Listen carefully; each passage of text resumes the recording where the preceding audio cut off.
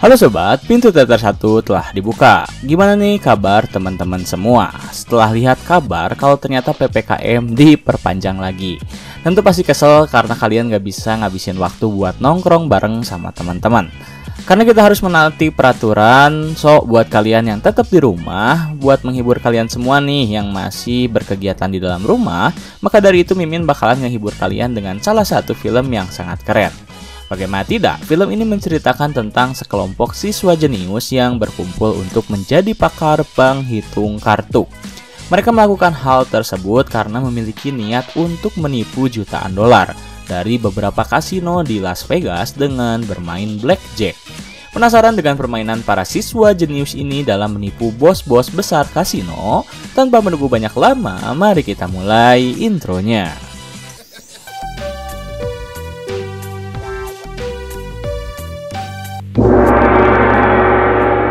Scene diawali oleh seorang pria bernama Ben yang saat itu tengah melamar untuk menjadi seorang mahasiswa penerima beasiswa di Universitas Harvard. Ben memutuskan untuk mengambil jurusan ilmu kedokteran saat itu. Ia pun melampirkan beberapa prestasi terbaik dirinya. Salah satunya memiliki IPK 4 berturut-turut. Namun, prestasi yang Ben miliki tak cukup untuk membuatnya menjadi penerima resmi dari beasiswa tersebut. Sang rektor dari Universitas Harvard ingin Ben memperlihatkan pada dirinya tentang sesuatu yang bisa membuatnya terpesona. Karena tahun lalu ada seorang penerima beasiswa yang berasal dari Korea. Ia merupakan penyandang disabilitas yang berhasil membuatnya terpukau. Akhirnya, Ben mencoba untuk memberitahu sang rektor jika ia dengan rekan-rekannya pernah memenangkan lomba Olimpiade Sains dengan menciptakan mobil berbasis gas buatan mereka sendiri. Tetapi tetap saja, Ben tak cukup berhasil untuk membuat mendapatkan kesempatan beasiswa tersebut. Kemudian ia kembali ke kediamannya, berbincang bersama rekannya yang sesama pintar dengan dirinya. Lalu Ben bercerita jika ia gagal mendapatkan beasiswa tersebut. Padahal ia sangat membutuhkannya karena ia tak bisa membayar uang sebesar 300 ribu dolar setiap bulan untuk bisa masuk ke ilmu kedokteran. Karena hari itu adalah hari ulang tahunnya Ben, maka Miles sebagai rekannya langsung mengajak Ben ke sebuah bar untuk merayakan hari ulang tahunnya. Bersama satu orang teman mereka yang bernama Cam, mereka bertiga merayakan ulang tahun Ben pada malam itu. Mereka juga berbincang tentang bagaimana payahnya mereka yang harus terus-menerus belajar tanpa bisa merasakan kenikmatan saat muda, yaitu berpacaran. Keesokan harinya, hari itu Ben dan Miles harus mengikuti sebuah kelas yang dimiliki oleh seorang profesor bernama Rosa. Seperti biasa layaknya mahasiswa pintar, Miles dan Ben berhasil membuat Profesor Rosa terpukau dengan jawaban-jawaban yang mereka berikan. Tetapi Rosa benar-benar terpukau ketika Ben memberitahu dirinya tentang sebuah teori jika Newton mencuri sebuah ilmu dari seseorang yang kemudian ia patenkan. Hal itu membuat Ben harus mengikuti sebuah permainan yang akan Profesor Rosa berikan. Permainan itu bernama tebak tirai. Profesor Rosa memberi Ben kesempatan untuk memilih salah satu tirai yang berisi mobil dan sisanya berisi kambing. Pada awalnya Ben memilih tirai nomor satu, lalu Profesor Rosa membuka terlebih dahulu tirai yang ketiga yang ternyata berisi kambing. Setelah itu Profesor Rosa meyakinkan Ben apakah ia akan mengganti pilihannya atau tetap. Dan jawaban Ben adalah mengganti pilihannya. Tak ada yang tahu alasan Ben mengganti pilihannya, tetapi ketika Ben menjelaskan jika ia menggunakan teori variabel untuk mengganti pilihannya. Di sana Profesor Rosa langsung menyematkan Ben sebagai salah satu murid baru terbaiknya. Akhirnya kelas pun selesai saat itu.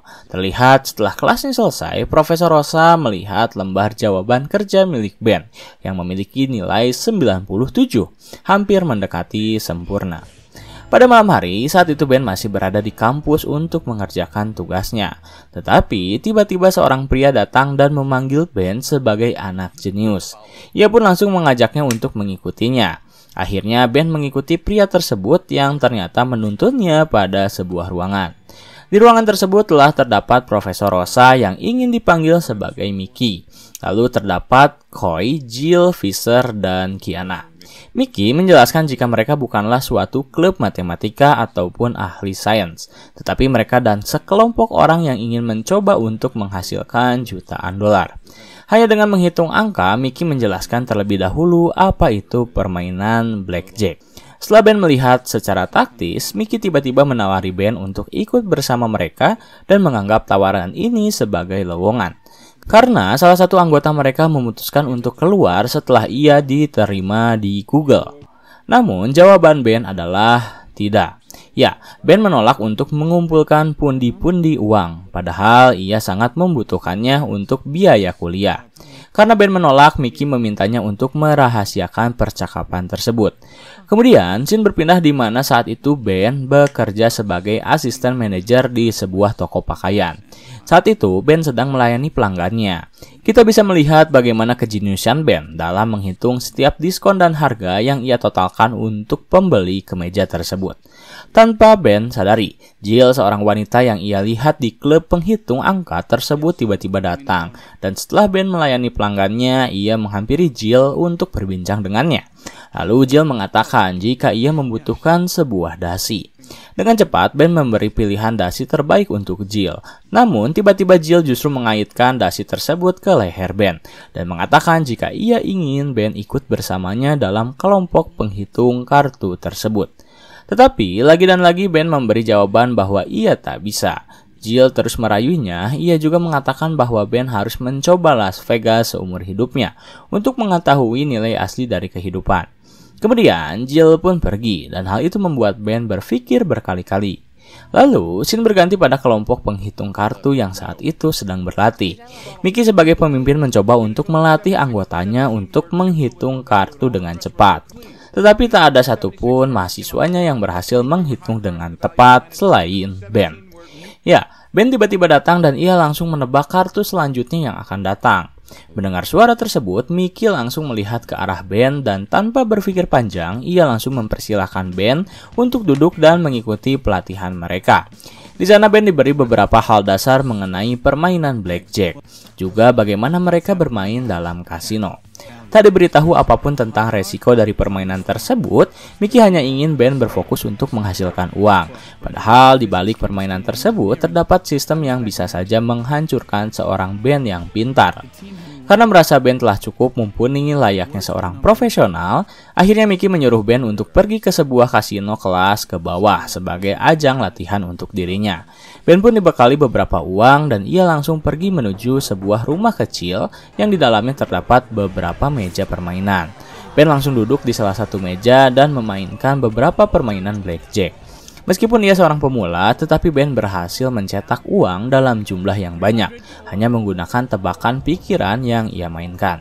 Namun, saat Ben telah larut dalam kesenangan permainan tersebut, tiba-tiba seorang menutup kepalanya dan membawanya ke sebuah tempat.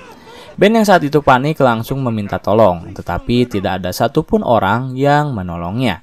Hingga penutup kepalanya terbuka dan menampilkan Mickey serta beberapa rekannya memberi selamat pada Ben karena ia telah berhasil lolos dalam pelatihan mereka dan telah resmi menjadi bagian dari penghitung kartu.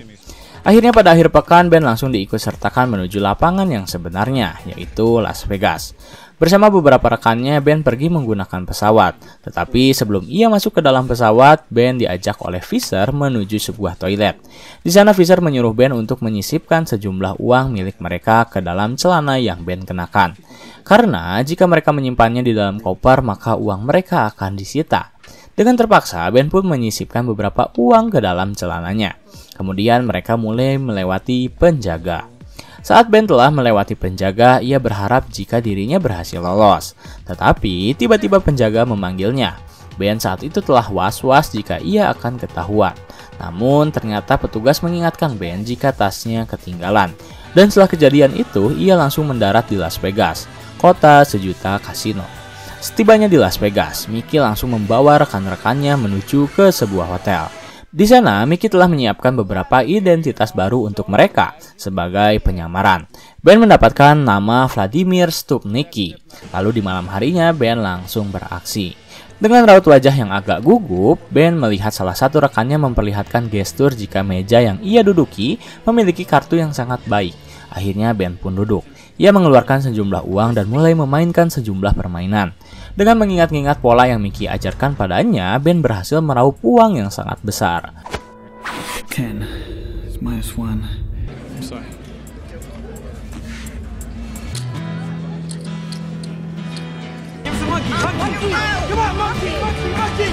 Malam itu menjadi malam yang sangat menyenangkan bagi Ben yang merupakan seorang pria culun yang hanya menghabiskan waktunya untuk belajar.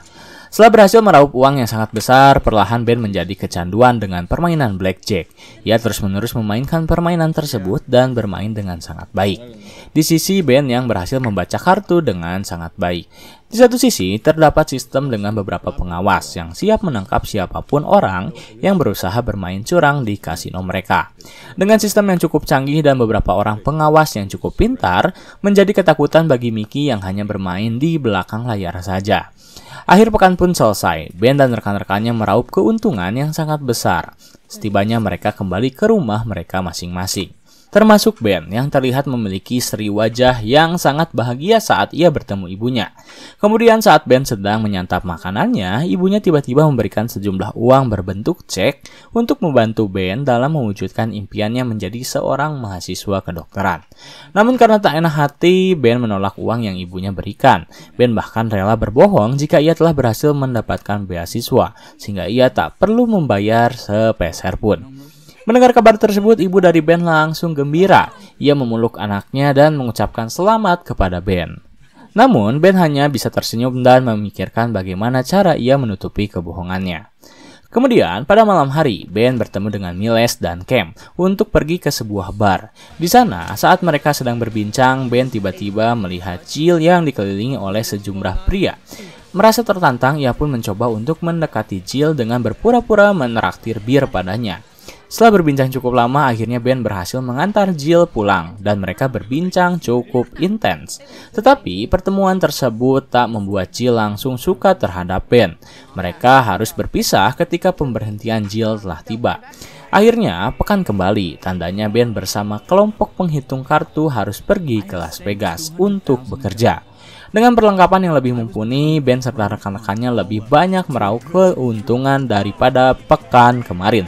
Bahkan Ben bisa berbelanja, pergi ke sebuah bar dan ia perlahan berhasil menggait hati dari Jill. Namun kehidupan Ben yang baru rupanya membuat ia harus sedikit menghilangkan waktu bersama Miles dan Cam.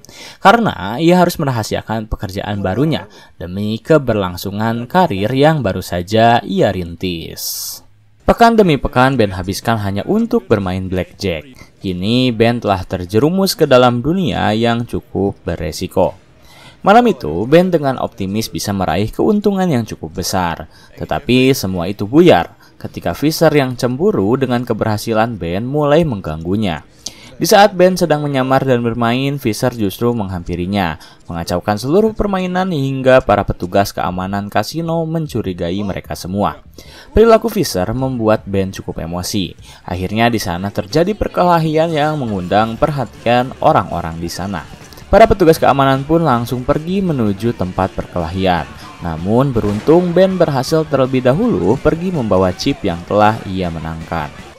Sementara Fisher telah diamankan akibat perlakuan Fisher yang tak profesional. Saat tim telah kembali ke hotel, Mickey langsung membuat keputusan mutlak, yaitu memulangkan Fisher karena ia tak bisa bersikap layaknya pemain profesional. Setelah kepergian Fisher, kini tim hanya tersisa empat anggota, yaitu Ben, Jill, Kiana, dan Choi. Mereka mulai menyusun sebuah rencana untuk menukarkan chip mereka karena tak mungkin mereka sendiri yang menukarkannya. Terlebih, para keamanan kasino telah mengetahui identitas mereka. Di tengah kebingungan, Ben tiba-tiba melihat seorang penari latar. Lalu ia menyarankan Mickey untuk menyimpan chip milik mereka kepada para penari latar. Dan ide Ben disambut dengan baik. Kalian bisa melihat bagaimana iring-iringan para penari latar menukarkan ribuan chip menuju ke jutaan dolar. Mendapat keuntungan yang sangat besar, tim pun langsung pergi dari Las Vegas dan mereka mulai menjalani kehidupan mereka masing-masing. Namun kehidupan band yang baru membuatnya lupa terhadap Miles dan Cam, yang saat itu menunggunya untuk mempersiapkan lomba yang akan mereka hadapi. Setelah menunggu cukup lama, Ben pun datang, tetapi ia mengacau ketika dirinya membawa sebuah chip 8K, yang di mana yang mereka butuhkan adalah chip 16K. Karena Ben terus-menerus melakukan kesalahan yang sama, Miles pun memutuskan untuk menyelesaikan proyek mereka berdua. Kesal dengan perkataan Miles, Ben pun langsung menerimanya dan ia mengatakan jika perlombaan yang akan mereka ikuti tak pernah dipandang baik oleh orang-orang. Lalu Ben pun pergi tanpa sebab. Kekacauan itu membuat kehidupan Ben cukup terganggu. Saat ia menjalani tugasnya sebagai penghitung kartu, Ben tak bermain dengan baik, bahkan ia terus-menerus menelan kekalahan. Dan meskipun Jill mencoba mengingatkan Ben, ia tetap bersikeras menghabiskan uangnya hingga terjadilah pertengkaran di dalam tim. Mendapat kabar tak berhasil meraup keuntungan dan justru mengeluarkan ribuan dolar, Mickey marah besar saat itu. Ia menyalahkan seluruh kesalahan tim padanya. Mickey bahkan meminta Ben untuk mengembalikan uang yang telah ia keluarkan untuk tim. Namun, Ben membela dirinya. Ia mengatakan jika kerugiannya tak lebih besar daripada penghasilan yang telah ia berikan pada Mickey. Bisnis tetaplah bisnis. Mickey tak mau mendengar alasan apa pun dari Ben. Ia meminta Ben untuk segera mengganti uang miliknya dan menyuruh seluruh tim untuk segera kembali ke Boston. Alih-alih menaati perintah dari Mickey, Ben justru mencoba untuk mengkudeta posisi dari Mickey, di mana ia mengajak rekan-rekannya yang lain untuk bekerja sama. Ya, mereka akan bermain blackjack tanpa pengawasan langsung dari Mickey, sehingga keuntungan mereka bisa semakin besar. Daripada mereka harus berbagi hasil 50% pada Yang sama sekali tak bekerja apa pun. Pada awalnya, Jill menolak hal itu. Tetapi ketika Ben bisa meyakinkan rekan-rekannya terutama Jill, akhirnya pada malam itu juga mereka memainkan blackjack bersama. Alhasil, ide dari Ben cukup cemerlang. Mereka berhasil meraup keuntungan yang sangat besar meskipun tanpa kehadiran dari Mickey. Namun tetap saja, Mickey yang notabene-nya adalah orang yang membawa mereka terjun ke dalam dunia tersebut tak berhenti di situ saja. Melihat Ben mencoba untuk mengalahkannya, ia menelpon petugas keamanan kasino yang bernama Cole Williams untuk memberitahu jika seseorang telah melakukan kecurangan. Mendapat informasi tersebut, Cole langsung memeriksa sistem dan ia berhasil melacak keberadaan Mickey yang diduga menggunakan metode penghitungan kartu. Ia bersama rekannya pun langsung menghampiri Ben yang saat itu sedang bahagia karena mendapat untung yang sangat besar. Hanya Ben yang tak menyadari kedatangan Cole. Rekan-rekannya yang lain telah terlebih dahulu pergi sebelum Cole datang. Hingga akhirnya Ben diinterogasi sendiri. Ia ditanya bagaimana cara dirinya melakukan hal tersebut, berapa banyak uang yang telah ia dapatkan, dan di mana keberadaan Profesor Rosa alias Mickey. Namun Ben sama sekali tak menjawab apa pun, meskipun ia dihajar habis-habisan oleh Cole yang menggunakan cincin kesayangannya. Akibat beberapa pukulan yang Cole layangkan, Ben harus pulang menuju Boston dengan kondisi wajah yang bonyok. Sesampainya di Boston, hidup Ben mulai berubah kembali 180 derajat, di mana ia mendapat surat dari kampus jika kelas yang diajar oleh Profesor Rosa menyatakan Ben tak lulus di kelasnya dan harus mengulang di semester tahun depan. Tanya itu, seluruh uang simpanan yang harusnya Ben gunakan untuk membiayai kuliah kedokterannya ikut raib dicuri oleh Mickey. Setelah kejadian itu, Ben benar-benar terpukul. Ia merasa jika dirinya tak berguna lagi dan harus mencoba untuk merenggut kembali kebahagiaannya dari Mickey. Akhirnya Ben merancang sebuah rencana. Pertama-tama ia ikut ke dalam kelas yang diajar oleh Profesor Rosa, lalu menyinggung tentang guru yang telah memanfaatkan kepintaran muridnya serta menjadikan mereka sebagai mesin pencetak uang. Kemudian Ben menghampiri kediaman Jill untuk menjelaskan segala hal termasuk permintaan bantuan untuk ditunjukkan kepada Mickey.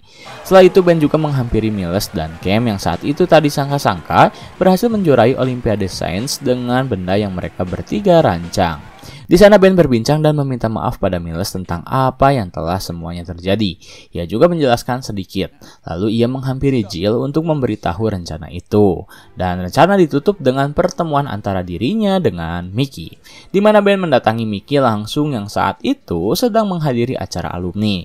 Dengan gestur tangan menggaruk, Mickey langsung mengetahui jika Ben ingin berbincang dengannya. Akhirnya Mickey pun mendatangi Ben dan bertanya apa yang ia inginkan. Ben tentu langsung menjawab jika ia meminta maaf atas apa yang telah terjadi di hari kemarin. Ia juga menyesali perbuatannya karena telah bekerja tanpa keberadaan Mickey. Permintaan maaf Ben rupanya langsung diterima oleh Mickey. Ia pun diminta untuk menjadi mahasiswa terbaiknya kembali. Dan Mickey menjamin kehidupan akan kembali normal.